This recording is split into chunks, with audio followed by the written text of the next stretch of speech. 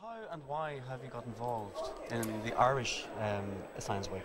Well, I think it's partly it may have been because I was born here. Somebody I think was looking through their files and they found out that this chap Snow, who presents Tomorrow's World, um, is uh, Irish.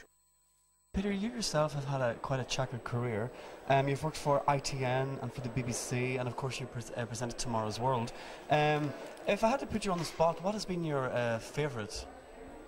I think really the most important has been Newsnight. And how did the change come about from the newsroom to science for you? Uh, well, just quite simply that um, a, friend of mine was working on Newsnight, and uh, uh, she went and became head of science. And she said to me, you know, I think it'd be a very good idea if you came and presented Tomorrow's World. And uh, you seem to be famous for your amazing use of the um, swingometer. I mean, how, how did that come about? And, and did it surprise you that people associate you with that? Well, I started covering elections back in the 1970s, and we quickly realized that computer graphics were a very exciting way of giving people the results in pictures in real time.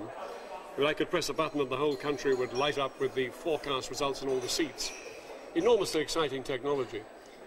And of course, translating the swingometer, which in the old days, and I may say I didn't invent the swingometer for a moment, it was invented by Rod McKenzie and David Butler way back in the 50s.